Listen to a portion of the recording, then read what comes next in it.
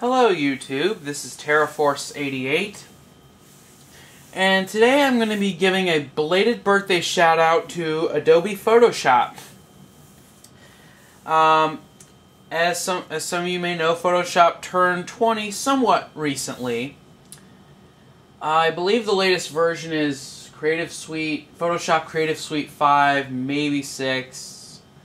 I personally use Elements 6 on my modern day computer. But what I'm going to do today for the birthday celebration is load up the very first version of Photoshop ever released to the public. Photoshop 1.0.7 for the Macintosh.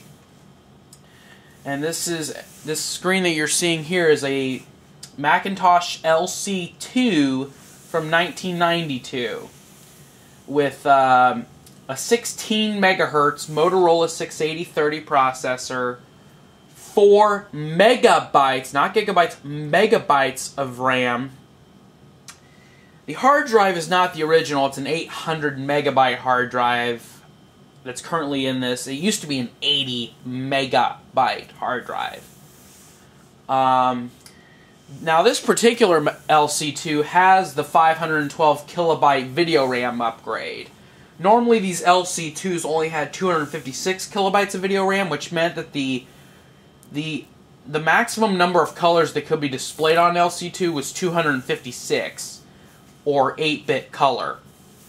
With the 512K video RAM upgrade, you can display thousands of colors or 16-bit color on the standard Macintosh 12-inch RGB display that you're seeing here.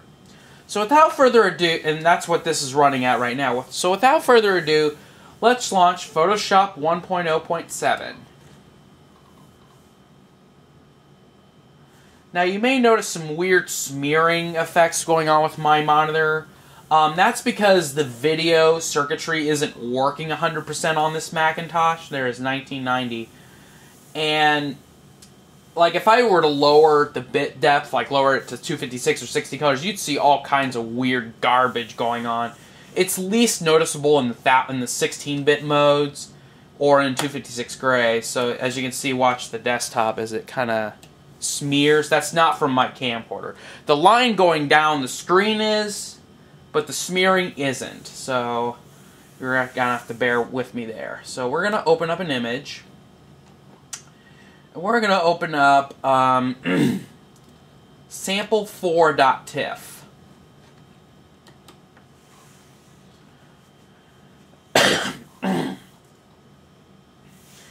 now this image I just pulled off the internet, but this Mac cannot obviously access the internet. I had to do some some pretty interesting floppy disk conversions.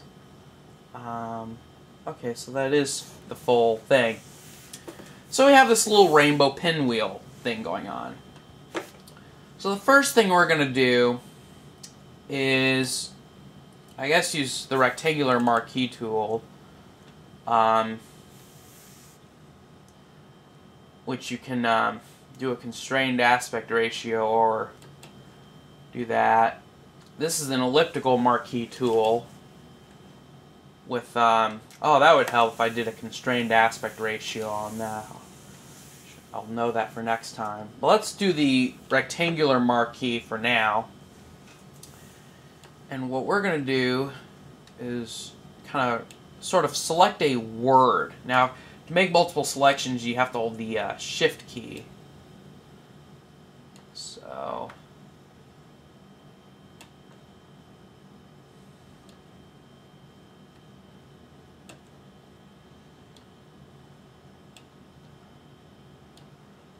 Now, the video that's of Photoshop 1.0 that's already on the internet, it's showing it running on like a Mac Plus or a Mac SE, which it might actually be a Mac Plus now that I think of it. Um, which of course only has that one bit color display. Oh, I didn't want to do that. Undo marquee. Oh, oh, oh okay. Phew. Okay, that kind of scared me there.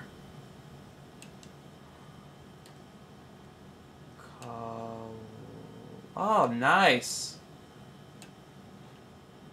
There we go wonder then if I can do that. No, it didn't work. Anyway, so now I have the kind of a portion, a region of the image selected. So now we can do some adjustments, or we can invert it if we wanted to. Pretty dramatic. Or you can adjust levels and curves, um, brightness, contrast, color balance. I'm just going to demonstrate real quickly a few things here. Color balance. Actually, I wanted... Um, actually, let's... That was a bit of a waste. Just... Hue saturation. Preview. Ooh.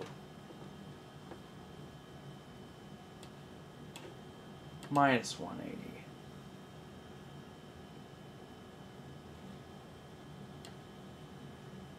Now I don't know what the colorize thing does. Oh. That just cranks up the saturation all the way. Which we don't want.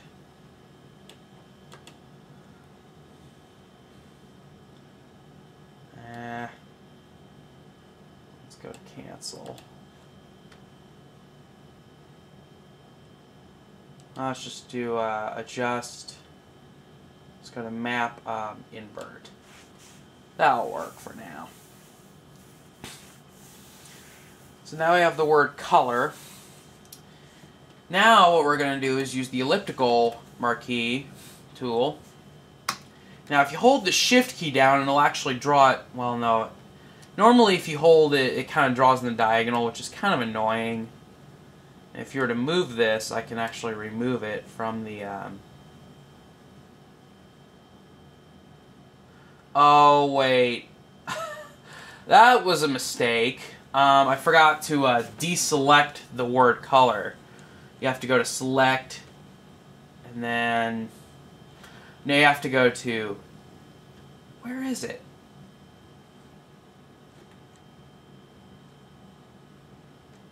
I, I actually know the keyboard shortcut, but I'm I forgot, I'm curious as to uh, oh select none, and it, the I was looking for deselect because it's Command D is the um, actual shortcut. So with the circle, if you hold the Option key down on the keyboard, it'll actually start drawing from the middle. Which, that didn't quite work. Let's go about there-ish. Oh, I'm trying to get this centered, but I don't want to waste too much time on it. Ah, close enough. So now, now we're going to do a filter effect. there's quite a few. Some of them don't do much. Others take way too much time. I'm going to just show you the mosaic effect, which is just a basic pixelization. We're going to bump this up to a 16 pixel square. And now we've pixelized it. Command D to deselect that. Um, this is a lasso tool. You can adjust the feather there. Um, this, I believe, is a magic wand tool. Which Photoshop, which it's basically a magic selection tool, sort of. Um, except, let's crank the tolerance up to like 64.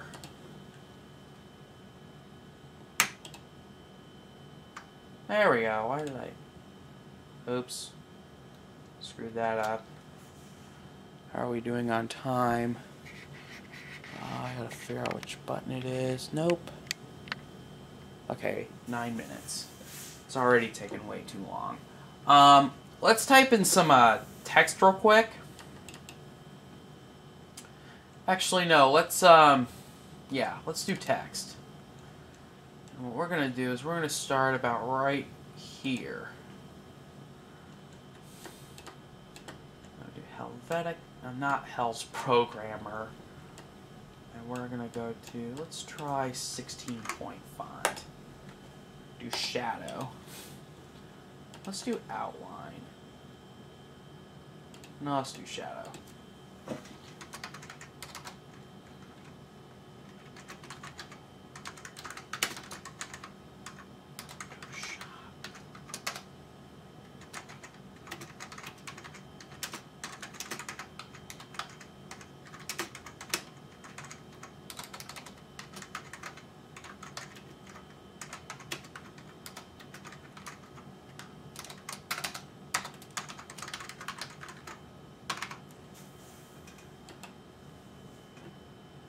See how big this text is.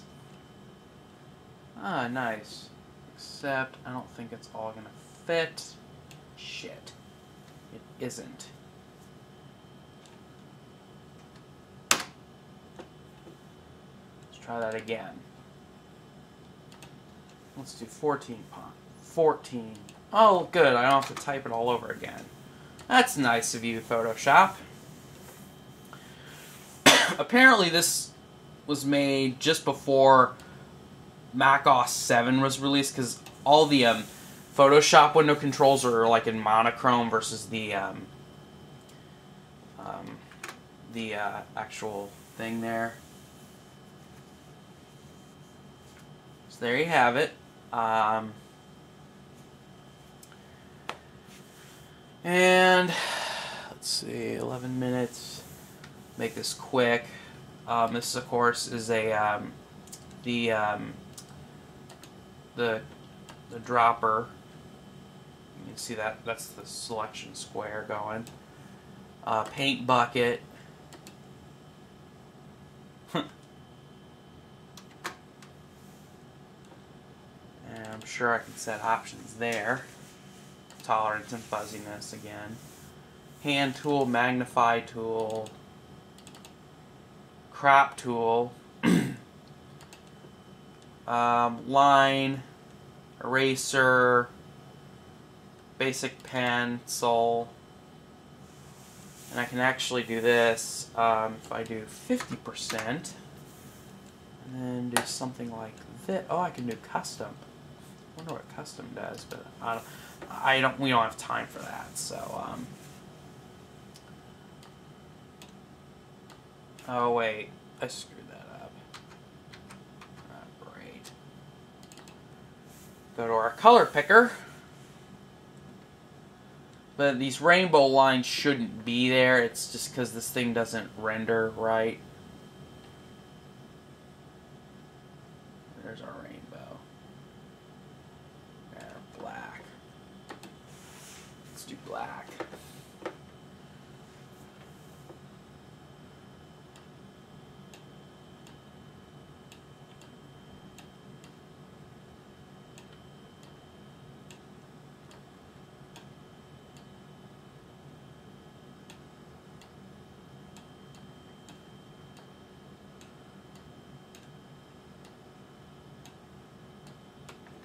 Hello, YouTube. This is the oh, it's the airbrush. Ha ha. Um, brush. That's a smudge tool. This is a stamp tool. Uh, blur and sharpen. The clone stamp tools already here. Um, and these you can have all different kinds of. And just like in regular Photoshop, if I try to use it without selecting a source,